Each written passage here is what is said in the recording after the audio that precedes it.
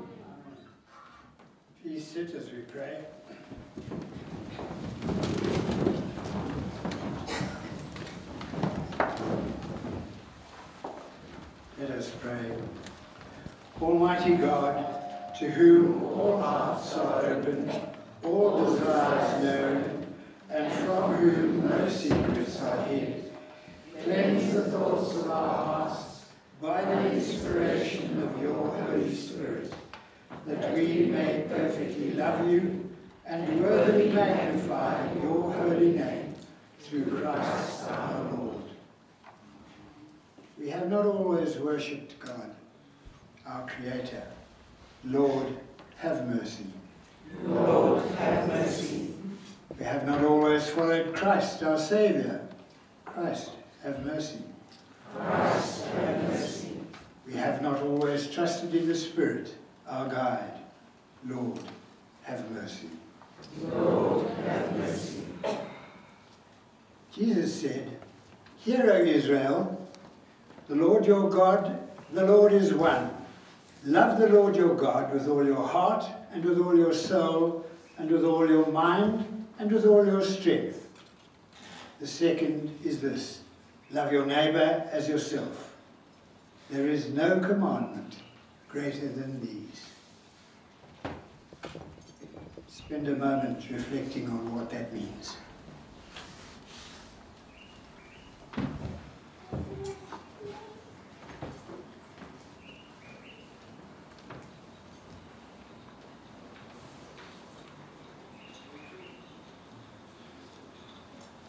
Let us confess our sins, firmly resolved to keep God's commandments and to live in love and peace with our neighbour. Almighty God, our Heavenly Father, in penitence we confess that we have sinned against you through our own fault, in thought, word, and deed, and in what we have left undone. For the sake of your Son, Christ our Lord, forgive us all that is past, and grant that we may serve you in newness of life, to the glory of your name. Amen. Almighty God, who forgives all who truly repent, have mercy on you. Pardon your sins and set you free from them. Confirm and strengthen you in all goodness, and keep you in eternal life. Through Jesus Christ our Lord. Amen. We pray together for collect. God of love, you have taught us that without love, whatever we do is worth nothing. Pour into our hearts your most excellent gift of love, and by it impel us to care for our sisters and brothers. Through Jesus Christ our Lord, who lives and reigns with you and the Holy Spirit, one God, in glory everlasting. Amen. As we come to the reading of God's word, let us pray. Lord, we thank you that you are the word. That before the beginning, at the beginning, you were there. That your word spoke all things into being. We pray now, Lord, as we listen to your word, we may be aware that creating, continue, continuing to create in our lives, in our families, and in our community. Amen. We're invited to stand for the reading of God's word, and there's you more comfortable setting.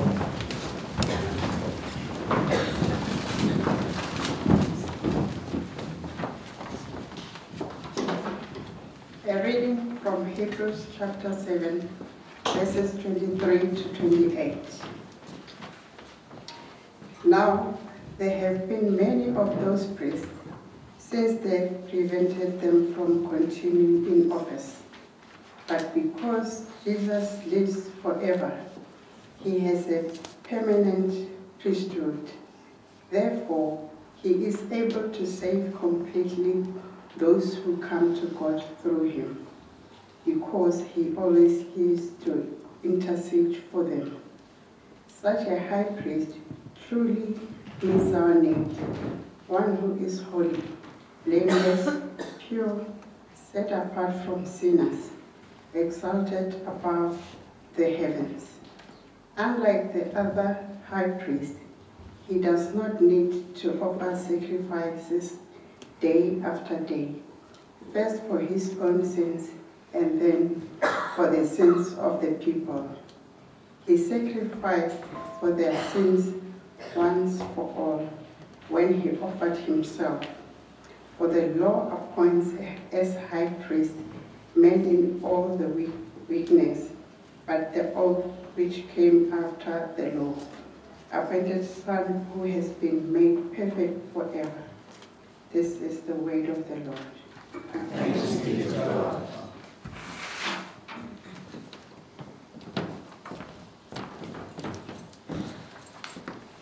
The psalm this morning is Psalm 146, we say it antiphonally. Praise the Lord. Praise the Lord, my soul. Praise the Lord all my life. I will sing praise to my God as long as I live. Do not put your trust in princes, in human beings who cannot save. When their spirit departs, they return to the ground. On that very day their plans come to nothing. Blessed are those whose help is, is the God of Jacob, whose hope is in the Lord their God. He is the maker of heaven and earth, the sea and everything in them. He remains faithful forever. He upholds the cause of the oppressed and gives food to the hungry. The Lord sets prisoners free. The Lord gives sight to the blind. The Lord lifts up those who are bowed down. The Lord loves the righteous.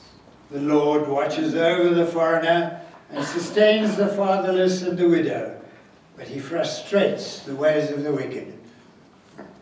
The Lord reigns forever. Your God, O Zion, for all generations. Praise the Lord.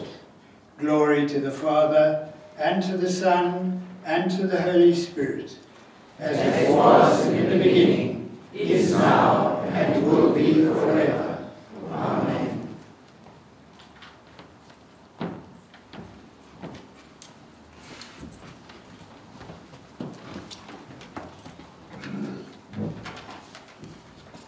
Listen to the good news proclaimed in Mark chapter 12, verses 28 to 34.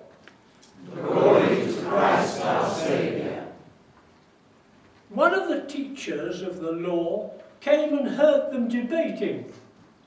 Noticing that Jesus had given them a good answer, he asked him, Of all the commandments, which is the most important?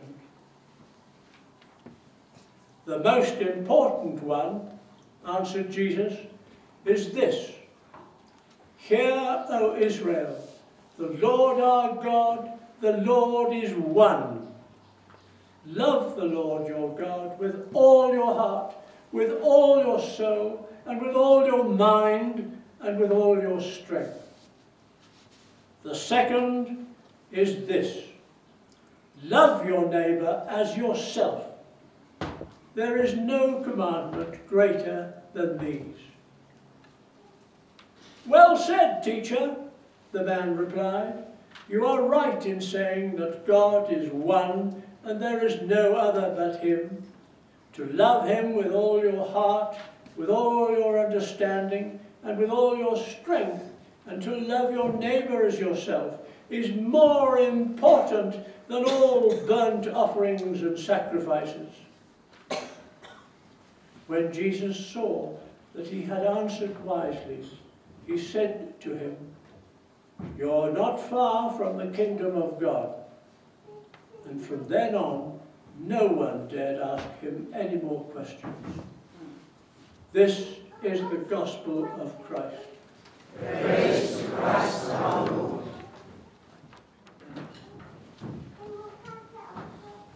Would you bow your heads as you stand?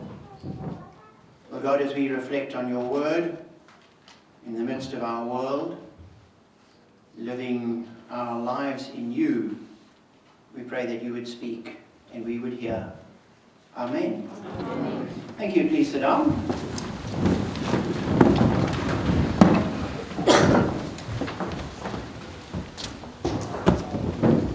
It appears that we are in the midst of a um, an election cycle. And even though we are not directly involved in, in elections, there's a whole lot of news about elections from around the world. They've just had an election for the leader of the Conservative Party in the UK, and Kemi Badenoch was elected, um, a black woman. And I'd always thought that uh, it would be the Labour Party that would have a black leader, and instead we have her leading the Conservative Party. We're also preparing for the election in America, which, no matter what the result is, will lead to a fair amount of chaos. Um, and it's, a, it's an election which, as I've been watching it from the sidelines, it seems to be splitting the country. Um, I don't think America has been this divided since the 1800s at the end of the Civil War. If you look back at politics from sort of 30, 40 years ago, there was a vast middle ground that Americans held, and they had their um, peripheral issues that distinguished the parties. Today, those peripheral issues are the main issues and the only issues, and there is no middle ground. And so um, it is incredibly divided. And as the debates have happened and speeches have been made, we found that the, the trend of society where we don't want to confuse facts and truth has played out large. Facts have very little weight in the election. It is the truth that the person speaks and what they believe even what, they, what is true for them that they pronounce. And what that does is undergirds a society and a culture where you have little that you can rely on. Because if I believe something is true and you believe something different is true, we both believe we're right. And the facts are ignored. And as I've looked at the politicians uh, and what they've been saying and what they've been doing, I thought, as Christians in America, how would you vote? What do you look for in a political leader? And I believe the New Testament is rich in what one looks for in good leaders. And you have Paul writing to Timothy and saying, I want you to appoint leaders in the church. Now, there, there are a couple of things which are specifically for church. But what he does is he underlines what a good leader would look like. He says, The overseer is to be above reproach, faithful to his wife, temperate, self controlled, respectable, hospitable, able to teach, not given to drunkenness, not violent but gentle, not quarrelsome, not a lover of money. He must manage his own family well and see that his children obey him, and he must do so in a manner worthy of full respect.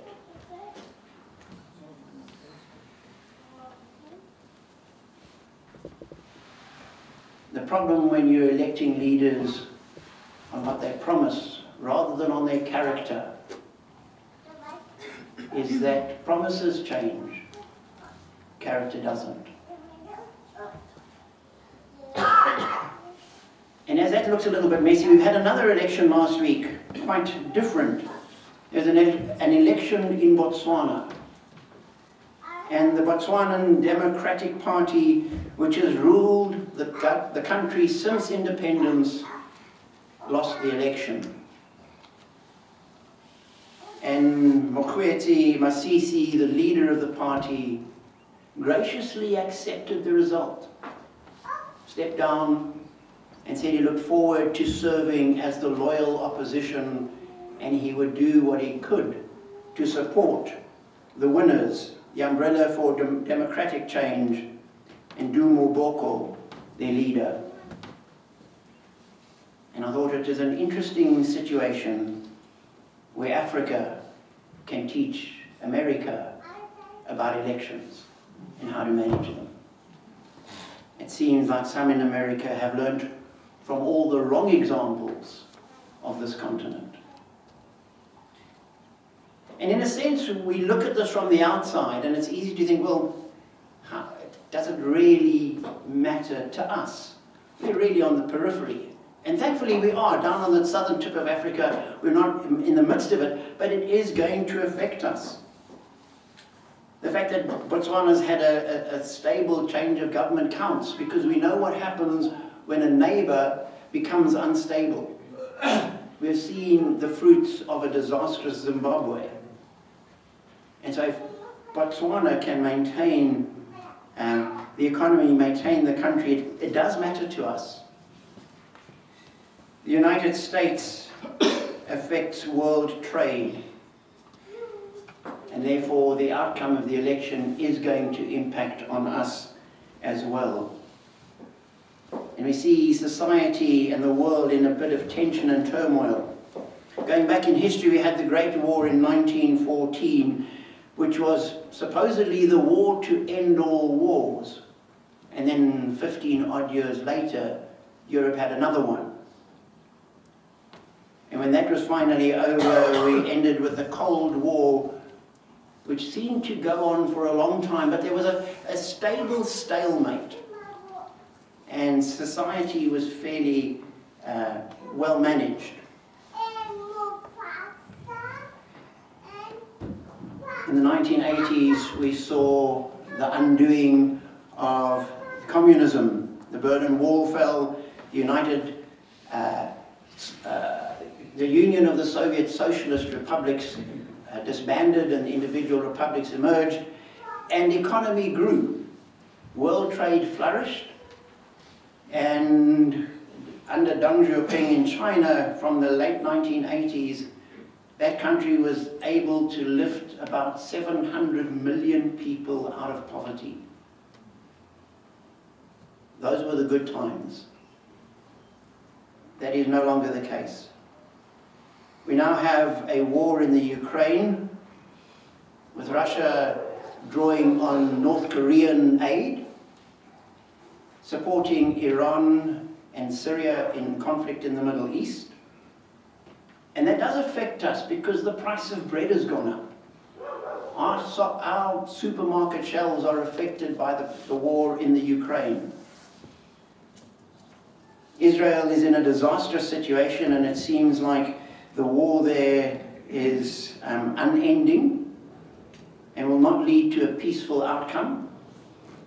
There will be conflict and tension and problems for the next generation. The United States has picked a trade war with China and certain politicians are threatening to put tariffs on every single item from China, which will disrupt world trade, which will make many Americans poorer. It will protect some people's jobs, not everyone's. But what it also does is it undermines the financial influence in the world. And so when there are problems, you can't bring financial pressure to bear on situations. What do you do about, uh, about North Korea? You've already put so many financial um, restrictions and uh, pressures on the country. You've got nothing more other than conflict. And if you alienate China, you've lost an ally in that situation. North Korea is supposedly sending troops to Russia and probably arming Iran. How will the world be controlled? what will happen to restore peace? How do we resolve these complex issues? Where do we find hope in a situation which looks to be largely hopeless otherwise?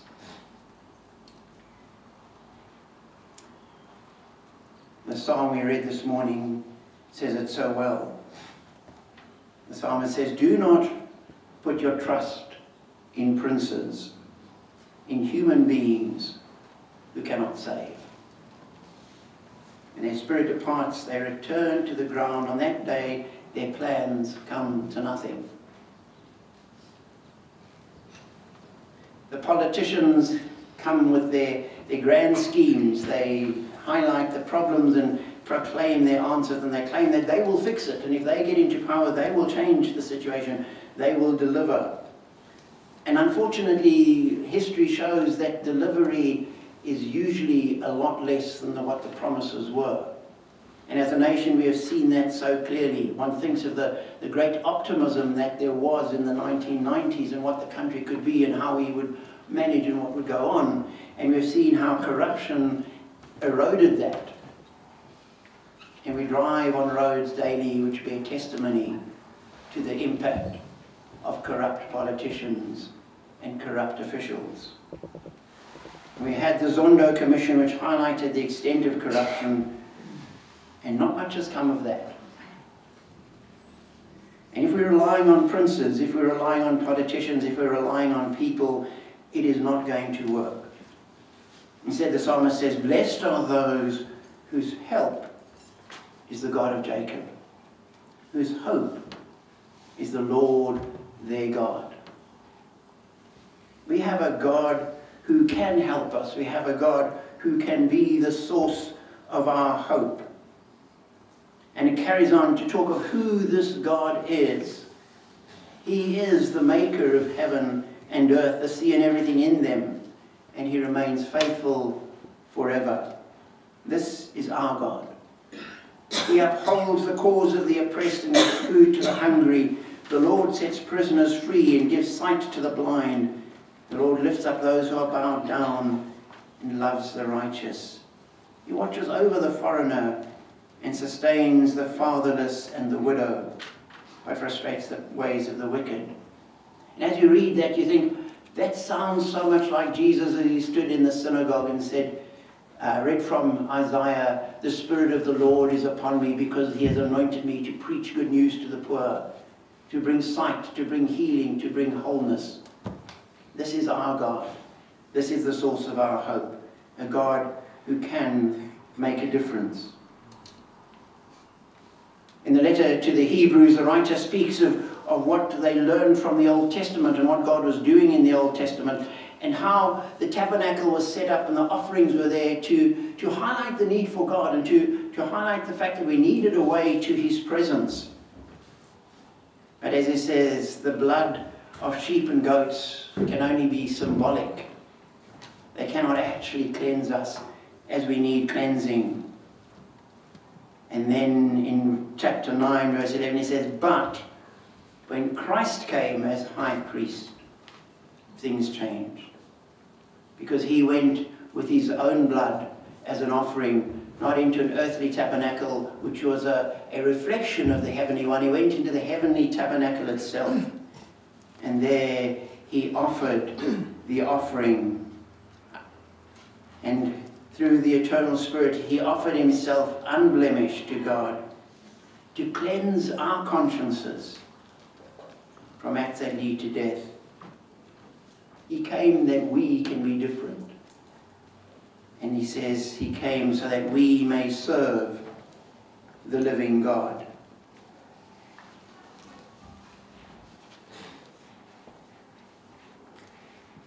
And Jesus highlights what that living God serving him would look like. He says, the commands are simple.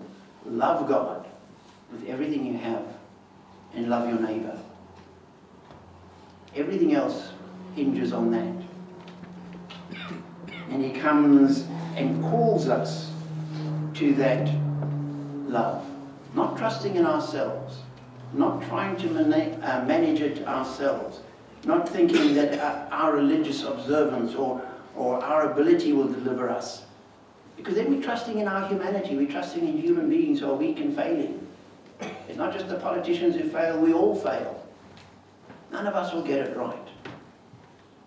And we put our trust in Jesus, the author and perfecter of our faith, who has offered himself the perfect sacrifice once for all, who has restored us and brought us to redemption. And so we can step into the world with love that we receive from him. Scripture says we love because he first loved us. And so as we live in this world with its complexities and its failings, with its tensions and its hopelessness, our, our eyes aren't on the problem, our eyes are on the cross. Uh, we don't look around us and think, what can, how can this work? We look on uh, to our God and we say, we recognize in history over thousands of years, you have worked. You have brought your plans about. You have um, solved the situations. Not always in the way that people would have liked. God's plans and God's uh, purposes are perfect and they will be fulfilled. And so we step into the world and we say, God, use us. Lord, give us your love. We, we live in a world where there is so much tension and hopelessness. Lord, let us go out as signs of hope. Let us go out loving our neighbor. Let us go out loving our enemy. Let us go out praying for our enemy and those who persecute us. Let us go out reflecting Jesus into a world that desperately needs the hope that he brings. Amen. Let us pray. Lord Jesus, you stepped into the world, left your glory behind, humbled yourself, and in your perfection offered yourself for us. Lord, in our restored relationship with you, we offer ourselves and pray, Lord, work in us, work through us. Let your light shine. Amen. We lift you high, Yahweh, Yahweh,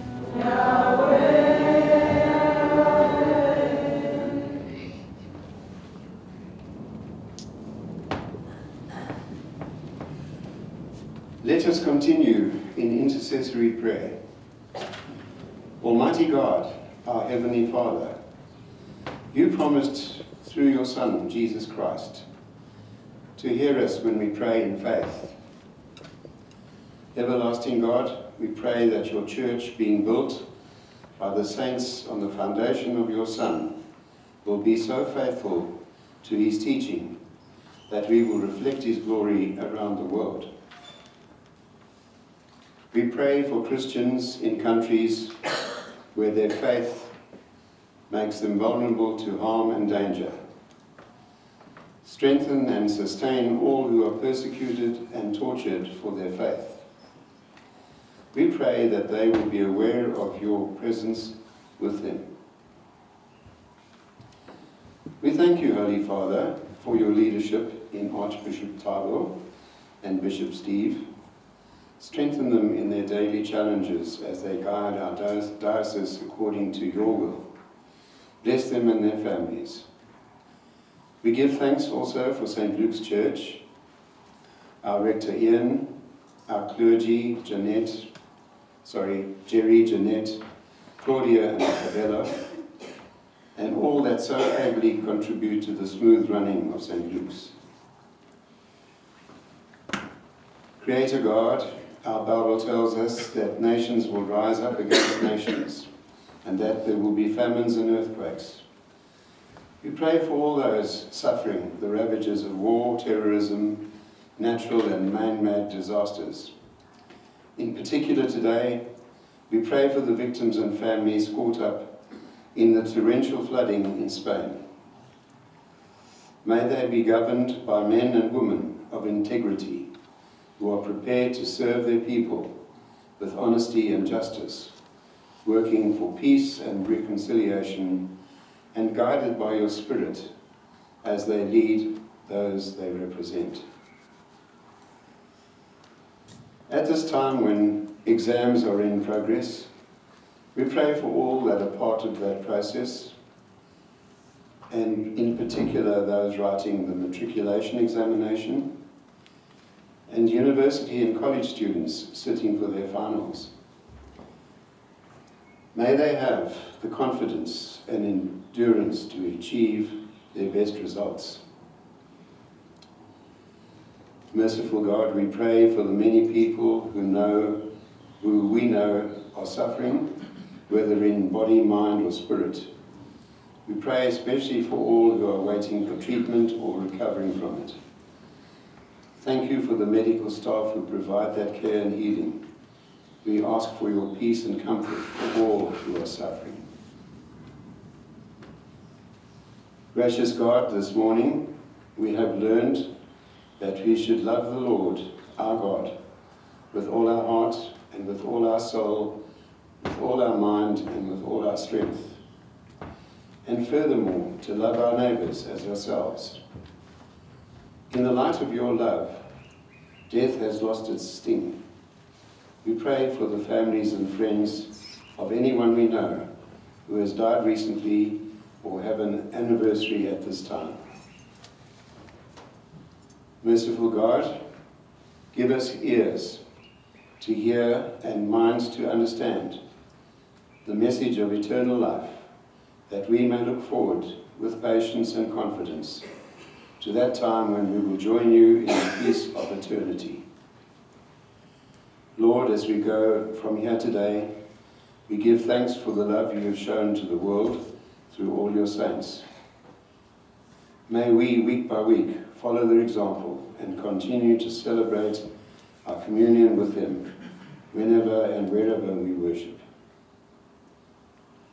Merciful Father, accept these prayers for the sake of your Son, our Saviour, Jesus Christ. Amen.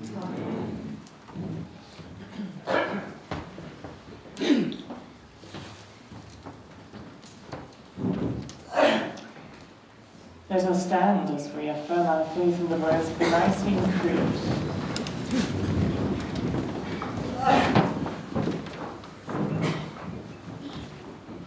We believe in one God, the Father, the Almighty,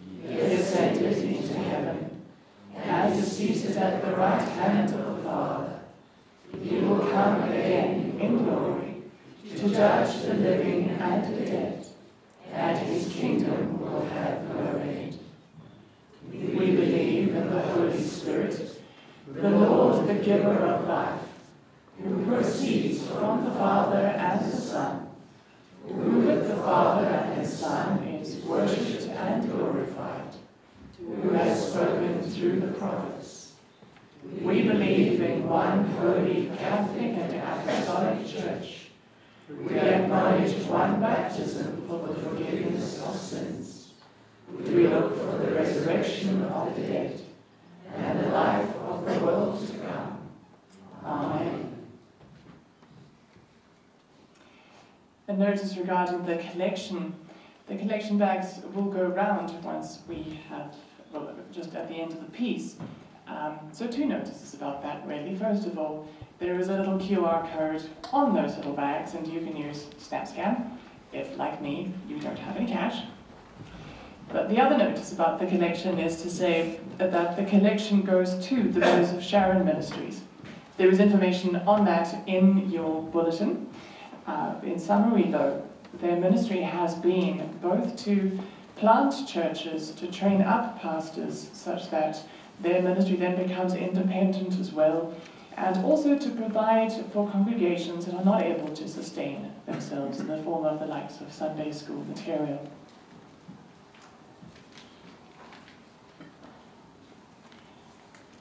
And so we remember that Christ is our peace, and in Christ we are one. The peace of the Lord be with you always.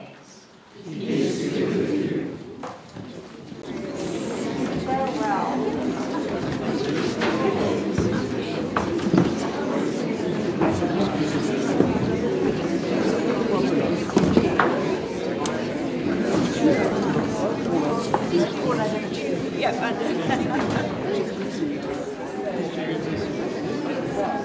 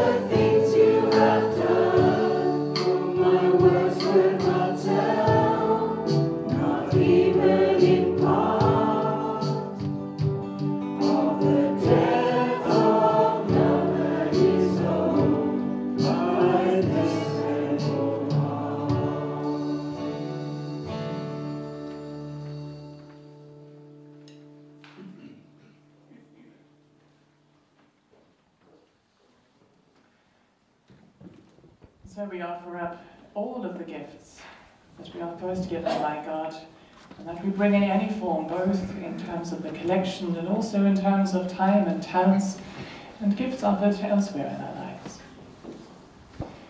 Source of all life, the heaven and earth are yours, yet you have given us dominion over all things. Receive the fruits of our labor, offered in love, in the name of Jesus Christ, our Lord. Amen. With this bread that we bring, We shall remember Jesus. with this wine that we bring, We shall remember Jesus.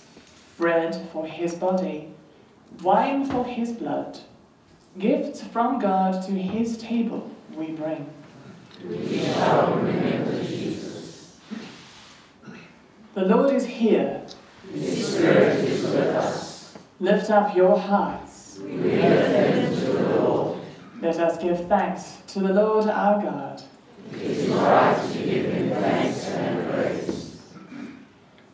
It is right to praise you, Father, Lord of all creation. In your love, you made us for yourself. When we turned away, you did not reject us, but came to meet us in your Son. You embraced us as your children and welcomed us to sit and eat with you. In Christ, you shared our life, that we might live in him and he in us. He opened his arms of love upon the cross and made for all the perfect sacrifice for sin. On the night he was betrayed at supper with his friends, he took bread and gave you thanks.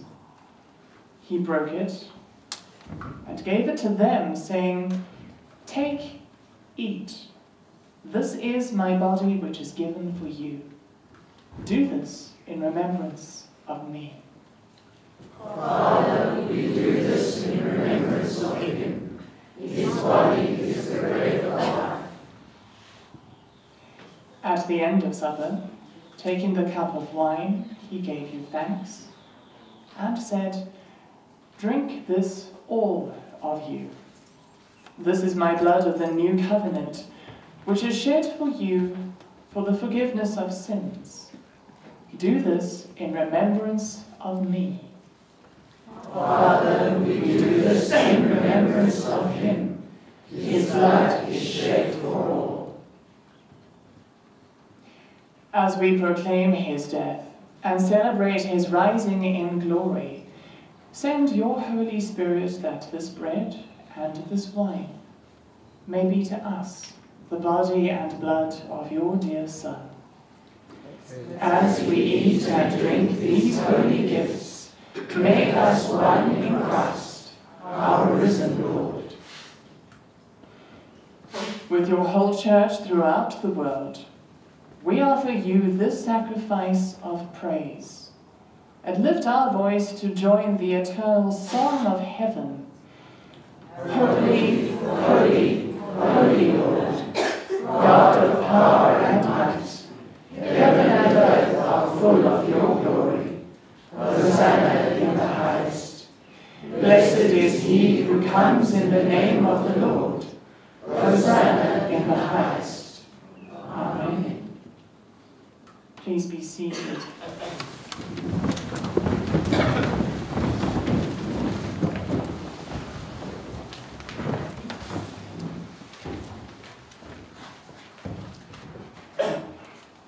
We say that special prayer that Jesus taught us. Our Father in heaven, Hallowed be your name. Your kingdom come. Your will be done, on earth as in heaven. Give us today our daily bread. Forgive us our sins, as we forgive those who sin against us. Save us from the time of trial, and deliver us from evil. For the kingdom, the power, and the glory are yours, now and forever. Amen. The bread which we break, is it not a sharing of the body of Christ? We who are many are one body, for we all partake of the one bread. We do not presume to come to this your table, merciful Lord, trusting in our own righteousness, but in your manifold and great mercies. We are not worthy so much as to gather up the crumbs under your table, but you are the same Lord, whose nature is always to have mercy. Grant us, therefore, gracious Lord, so to eat the flesh of your dear Son, Jesus Christ, and to drink his blood, that we may evermore dwell in him, and he in us. As you come up to receive communion, a reminder that by default the lay minister will give you wine, and if you would prefer juice, please would you indicate so. Then also, if you have not been admitted to receive Holy Communion, if you would let us know that simply by folding your arms across your chest, and we will give you a blessing.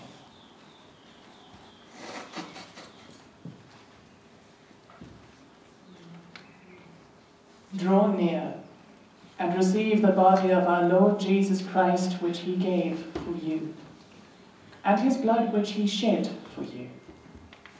Feed on him in your hearts by faith with thanksgiving.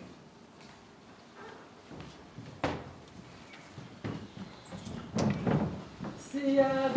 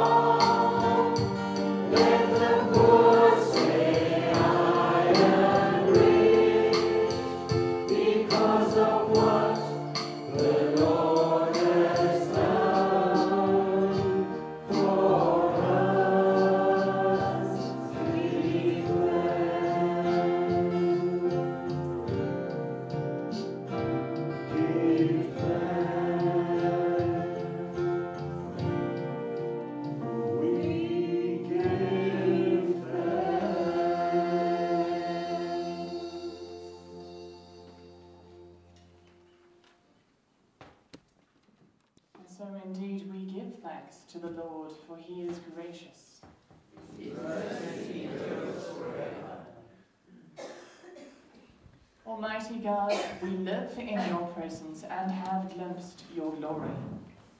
Filled with your Spirit and trusting in your holy word, as a lantern to our feet, a light to our paths, and a strength to our lives.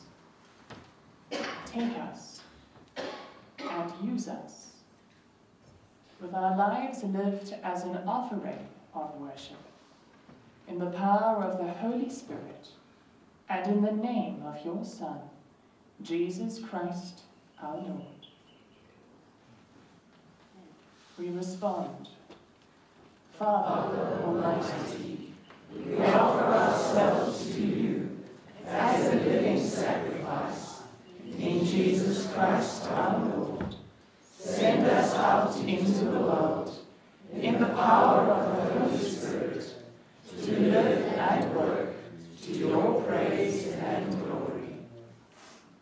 We take a moment to lift up prayers for our continent and indeed for the world.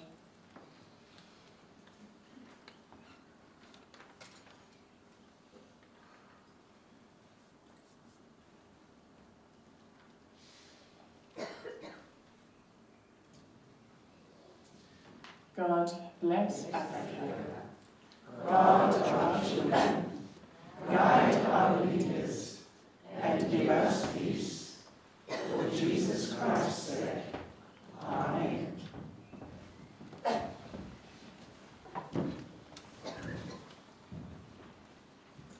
Let me just start by saying we had a wonderful holiday. We away for just over 10 days. I went to Botswana, and there's very little evidence of an election. There are a couple of posters, and most of them were just telling people how to vote and where to vote and the identification they needed. Um, we were camping, which was wonderful, but it was hot. It was 44 degrees, so we won't go in October again. We'll make another plan. But anyway, we had a wonderful time, and it was good to be back and to come back finding that everything is still going well, things are ticking over, running smoothly. It's a great blessing to be part of a community that uh, has the number of leaders and committed people that we have here. Does anybody here have a birthday today? Does anybody here have a birthday this week? Penny has a birthday this week. Anyone else? And Charles has a birthday this week. We're going to have to sing happy. Oh, and Leona has a birthday this week. We're going to have to sing happy birthday to everyone. Happy birthday to you.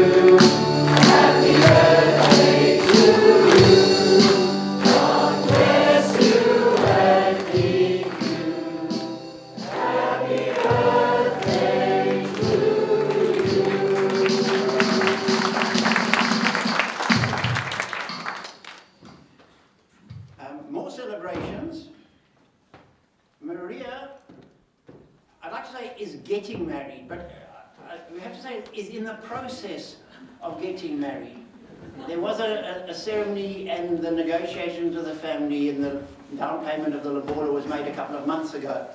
They've been to Home Affairs and they've signed some papers. In the coming week they will have a, a, a church ceremony and then in a couple of months' time they're going to have another ceremony um, to round it all off. But we're going to be celebrating with them next Sunday. So over tea, Solly and Maria will be here and we will have a celebration tea with them in the process of their marriage. Um,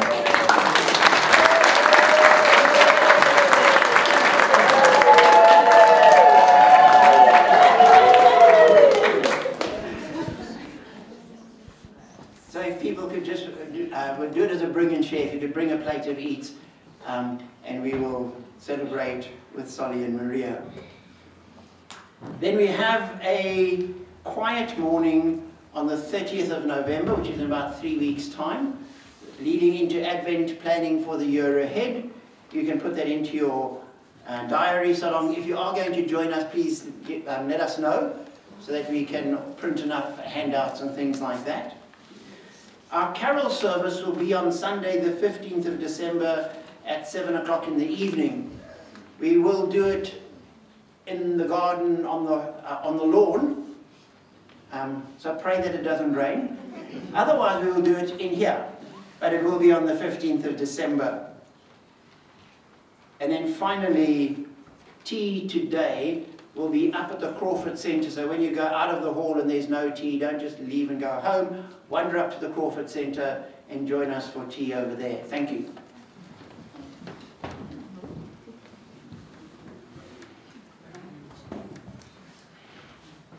Also just notice to say that if you are in need of prayer or know someone who is in need of prayer wish to stand in their space, there will be a prayer team on the third side of the hall, which is called the supper room, just at the end of the service. So please feel invited to join them.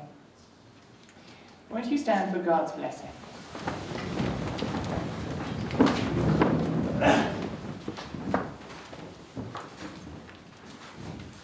The peace of God, which passes all understanding, keep your hearts and minds in the knowledge and love of God, and of His Son, Jesus Christ our Lord, and the blessing of God Almighty, the Father, the Son, and the Holy Spirit, be among you and remain with you always.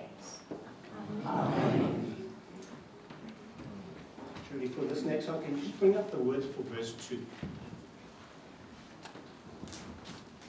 Again.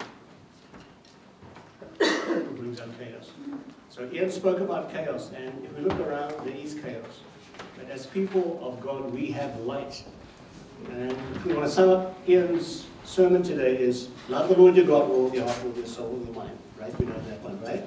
And then we need to do our bit. We need to be salt and light out there. Some people are hurting, some people are in trouble. We need to be in the hands and feet of our Lord. So think about that this week. So this is amazing grace.